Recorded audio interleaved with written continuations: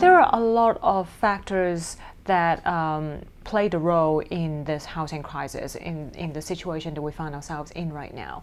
Uh, on one hand, you have the obvious situation with the uh, securitized loan market, and generally speaking, what we have discovered right now is that probably with uh, in many cases we should have had better underwriting standards and households uh, should have been better educated in what obligations and what implications they have when, when they take on a mortgage. So that's very much on the demand side. And obviously, when you couple that with slow economic growth, that doesn't make a pretty picture.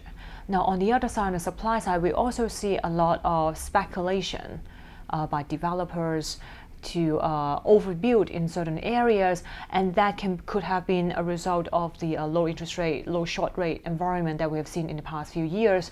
So when you put all the things together, some of some of the some of the factors you can see were more important, more more local in their nature, but many we we do see a kind of a more national trend in them. This is not the first time in history that lenders lend to people who shouldn't have got a loan.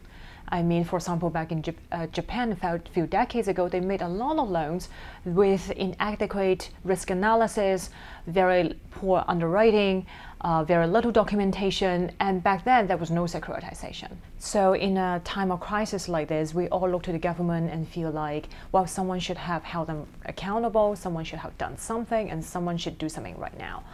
And I think there is a risk of overdoing it that if you stifle uh, the, the private sector too much, there is a risk of making, for example, lending too cumbersome a process, too unprofitable a process that we might see some adverse effect coming from it. The robo-signing controversy was about how some of the lenders, being so overwhelmed by the sheer number of papers and homes they need to review, started not paying so much attention to the paperwork and have some of the employees, in fact, just blindly putting a stamp or signature on the papers to start the foreclosure proceedings.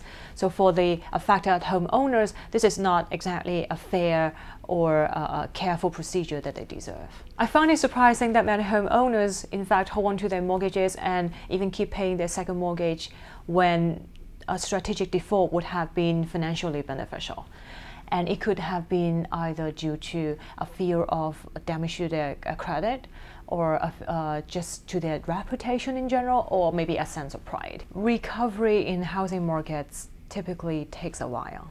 That is because even in a normal market, houses don't get sold every single day. So even if let's say that someone would have been willing to buy a house at a higher price unless there's an actual transaction, because of mobility, because they were moving, because there was some demographic changes, we're not going to see that price increase revealed in data that we can see.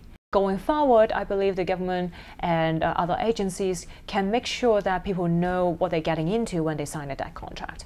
And we have seen that they have been very uh, creative and very um, um, kind of new mortgage products coming out that that the average homeowner might not have been able to understand. So we can work on that.